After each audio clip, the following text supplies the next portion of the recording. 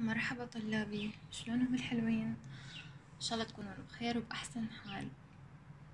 طلاب الأول اليوم رح ناخذ موضوع جديد اللي هو اسمه الطفو والغطس. اسم الموضوع الطفو والغطس. قبل ما نبدي نشرح بالموضوع. شنو أخذنا الدرس السابق؟ الدرس السابق الشطار رح يجاوبون شنو شرحنا بيه؟ شرحنا بالدرس السابق موضوع المخاليط. شرحنا موضوع المخاليط.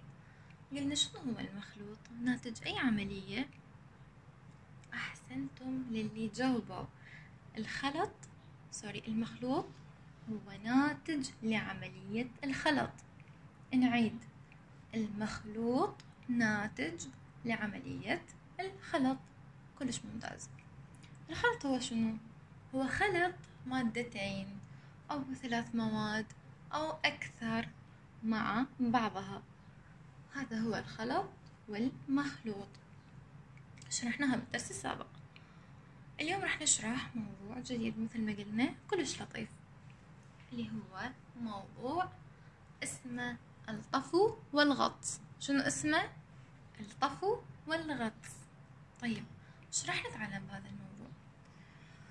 راح نتعلم بهذا الموضوع إنه بعض المواد تطفو على الماء.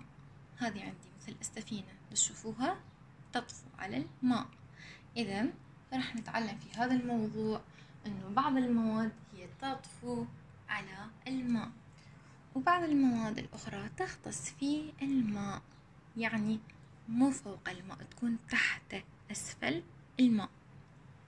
طيب ألاحظ وأتساءل. السفينة تطفو على الماء. هل توجد مواد تغطس في الماء. طيب رح نجي نفتهم من خلال الاستكشاف.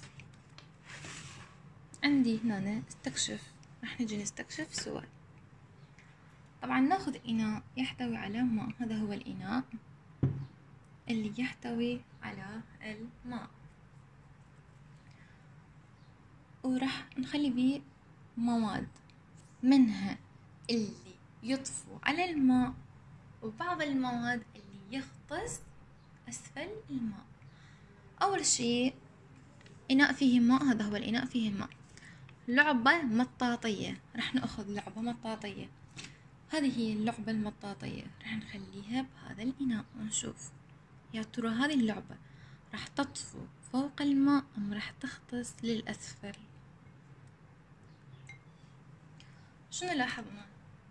نشوف إنه هذه اللعبة المطاطية هي تطفو فوق الماء. نعم أحسنتم. راح تطفو هذه اللعبة فوق الماء. أي لا تغطس للأسفل. طيب الثاني راح ناخذه ورق نبات. ورق نبات. هذه هي ورقة نبات. أيضا راح نخليها بهذا الإناء اللي يحتوي على الماء. ورقة نبات. شنو نلاحظ الورقة شنو تشوفوها هي تغطس أسفل الماء أم تطفو فوق الماء؟ شو نلاحظ؟ إن الورقة أيضا تطفو فوق الماء. أحسنتم طيب حجر. راح ناخذ أيضا حجر. هذه هي حجرة أو واحدة حجر. أو حصوة أو ما أدري إيش يسموها. حجر راح نضعه هذا الإناء اللي يحتوي على الماء. شنو حنلاحظ بالحجر؟ يطفو أم يغطس؟ انتبه اللعبة المطاطية تطفو فوق الماء. ورقة النبات أو ورق الشجر أيضا يطفو فوق الماء. طيب هذه الحجر شنو صار بي؟ شوفوا طلاب صار أسفل الماء. يعني نزل لجوا إذا هذه هي الغطس. الحجر يغطس في الماء. من بعدها مفتاح معدني. هذا هو المفتاح مفتاح معدني. راح أضعه مع هذه المواد. وضعته. شنو صار؟ المفتاح يغطس أم يطفو؟ تشوفوا لي فوق. تشوفوا يضفتعوا الورقة؟ لا. إذا هو لم يطفو. شنو صار بي؟ أحسنتم. يغطس في أسفل. الماء المفتاح المعدني. بعد شنو عندي؟ قطعة خشب. هذه هي قطعة خشب. قطعة خشب راح أخليها بهذا الإناء. شنو صار بهذه القطعة؟ صارت مع المفتاح يعني هل تختص قطعة الخشب أم صارت مع ورقة النبات واللعبة المطاطية؟ ممتاز. إذا معناها تطفو فوق الماء. كلش ممتازين طلاب. إذا قطعة الخشب وورقة النبات واللعبة المطاطية هي تطفو فوق الماء. والحجر والمفتاح المعدني تغطس في الماء.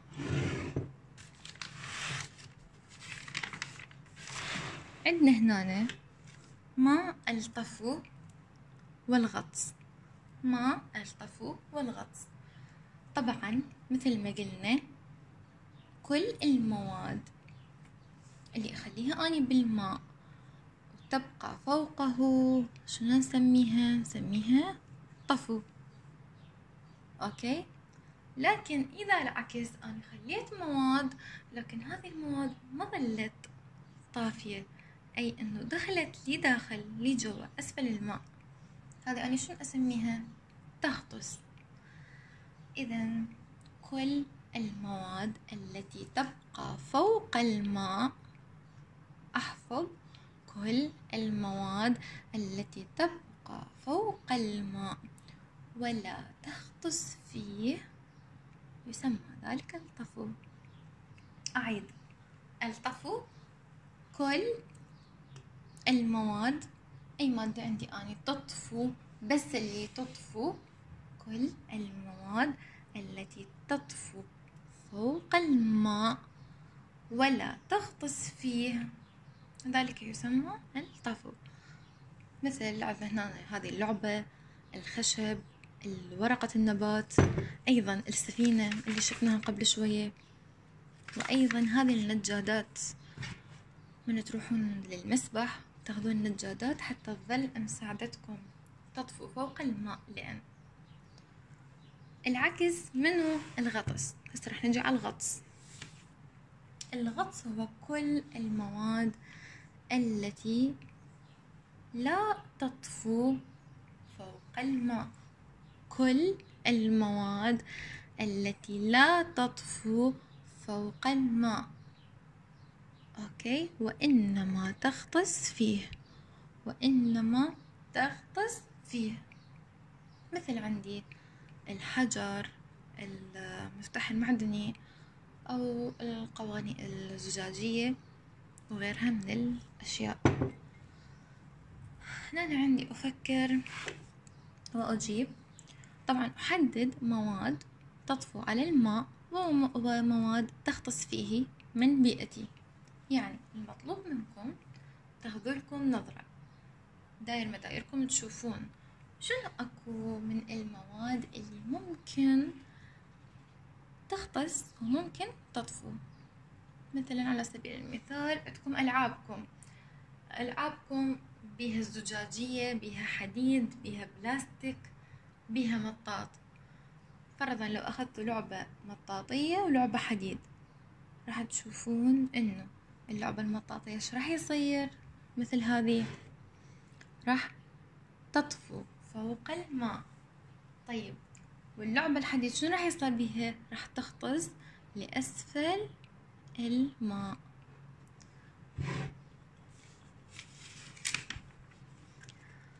عندي سؤال.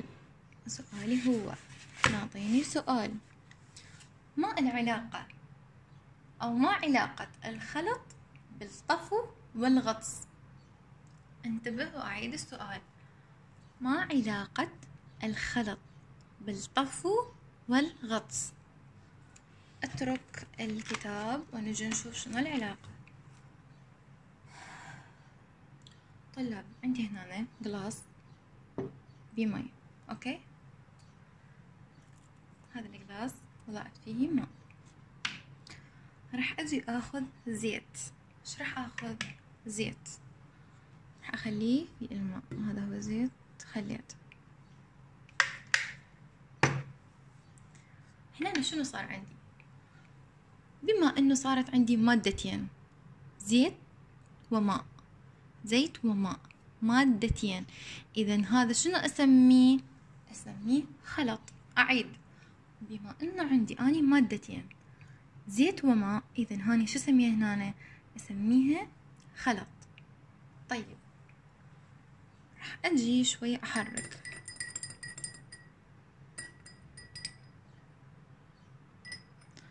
طلاب هنا شنو نلاحظ؟ هنا شنو إحنا لاحظنا من حركت الزيت امتزج مع الماء.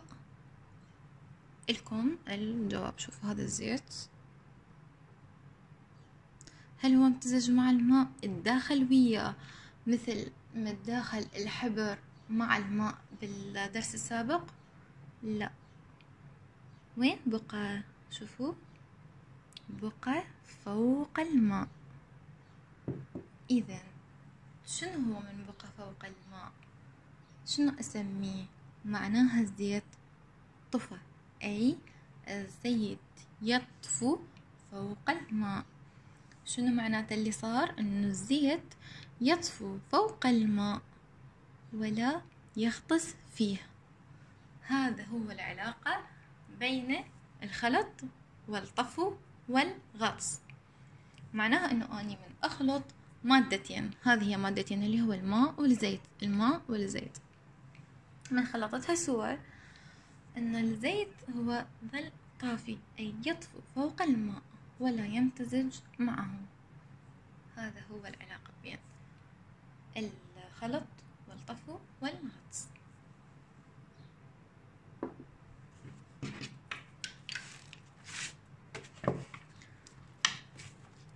راح نجي نقرأ الصورة عندي هنا صورة قايل لي أسمي المواد الطافية والغاطسة في الصورة نعطيني ثلاث مواد. مفتاح وقطعة خشب وخلينا نقول مكعب مطاط. طيب أني راح أسمي المواد الطافية. شنو اسم هذه المواد الطافية؟ قلنا خشب وقطعة المطاط. طيب والمواد الغاطسة منو هي؟ هي المفتاح. هذه okay سهلة مبينة السؤال لكم ماذا يحدث لقنينة فارغة يعني بطل ماي فارغ وضعها في الماء. أنا عندي هذا الإناء يحتوي على الماء. وراح أجيب قنينة فارغة اللي هو معناها بطل ماء فارغ. أوضعه في إناء فيه ماء. يعني أنا هد أوضع فيه. شنو دا يصير هنا تلاحظون؟ شنو دا تلاحظون؟ هل قنينة الماء أو بطل الماء يغطس أم يطفو؟ هو دا يغطس لو دا يطفو؟ شوفوا. ممتاز. إذا قنينة الماء تطفو فوق الماء ولا تغطس فيه. أحسن. خلينا نراجع الدرس. مراجعة الدرس. أسمي مواد تطفو على الماء ومواد تغطس فيها مثل ما أخذنا قبل قليل. عرفنا شنو هي المواد اللي تغطس واللي تطفو. ما الطفو؟ راح أترك لكم مجال. شنو الطفو؟ أحسنتم للي يجاوبون صح ومستمرين وياي. الطفو هو قلنا المواد التي تبقى. فوق الماء المواد التي تبقى فوق الماء ولا تغطس فيه. المواد التي تبقى فوق الماء ولا تغطس فيه. طيب نعطيني صورتين وطالب مني أن أضع إشارة صح تحت الصورة التي تمثل الطفو أنا قلت إنه الطفو شنو قلنا قبل قليل؟ إنه هي كل المواد اللي تبقى فوق الماء ولا تطفو فيه إذا يا هي من الصورتين هي تمثل الطفو لازم تكون فوق الماء ما تكون بالأسفل. خطأ. ممتاز. الصورة الصحيحة الأخلي. علامة صح هي صورة البطة والتفاحة لأن هي تطفو فوق الماء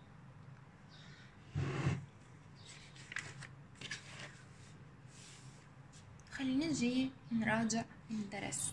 أنا وياكم. طيب. أصل كل مفردة بالصورة المناسبة. أول شي عندي الغطس. الغطس. أي من هذين الصور تمثل الغطس؟ هل هذه الفواكه المختلفة أم البطة والتفاح اللي تمثل الطفو أم مخلوط المكسرات أم المغناطيس والشاكوش اللي يطفو اللي سوري يغطس داخل الماء. إذا أني هذه الصورة هي عندي تمثل الغطس. ممتازين. طيب الكلمة الثانية المخلوط. فكروا. أي من هذه الصور الثلاثة تمثل المخلوط؟ الفواكه أم البطة اللي تطفو على الماء أم المكسرات؟ أحسنتم طلاب. المكسرات هي تمثل تمثل المخلوط. إيش بقى عندي؟ الطفو والخلط. الطفو كل المواد اللي تبقى فوق الماء. هذه الطفو أم هذه؟ أحسنتم البطة والتفاحة طيب بقى عندي الأخيرة اللي هي الطف اللي هي الخلط سوري واللي هي تمثل هذه الصورة. أكثر من مادة خالطها مع بعضها. هذا هو الخلط.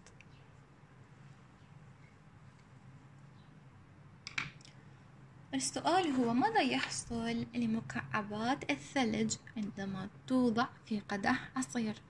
عندي جلاس عصير. وجبت ثلج. طبعا أكيد ما أحب أشرب حار. جبت ثلج وخليته بالعصير. إيش راح يصير؟ راح يندمج أو ينخلط مكعبات الثلج. بشنو؟ بالعصير. إذا راح تحصل عملية خلط. okay؟ شو راح يصير؟ راح يصير خلط. ممتازين. وأيضا شنو أول مرة الثلج؟ شنو راح يكون بي راح يطفو. شوفوا الثلج أول شي راح يطفو. يطفو. على سطح العصير هنا أنا ما عندي مي. إذا هو راح يطفو بعدين راح يخلط بالعصير. سؤال إنه كيف يختلف الطفو عن الغطس؟ مثل هذا بالضبط. الطفو إنه قلنا إنه شنو؟ الأشياء أو المواد تبقى فوق سطح الماء. أي لا تغطس فيه. الغطس بالعكس هي المواد اللي تغطس أسفل الماء ولا تطفو فيه. السؤال أيضا. لماذا يعتبر الهواء الجوي مخلوطا؟ هذا الهواء. اللي نتنفسه أو الهواء الخارجي. ليش يعتبر مخلوط؟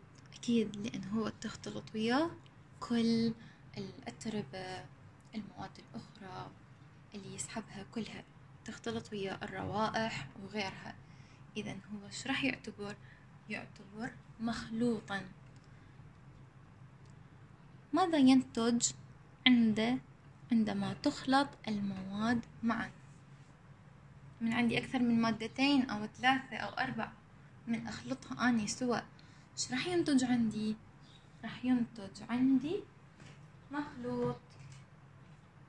طلاب هذا كان درسنا لليوم اللي هو موضوع الطفو والغطس. يبقى عندكم حل تمارين ال activity book اللي هو الكتاب الأبيض والأسود. صفحة خمسين واحد وخمسين واثنين وخمسين. لك للجميع اقروا طلاب. أتمنى لكم كل الموفقية.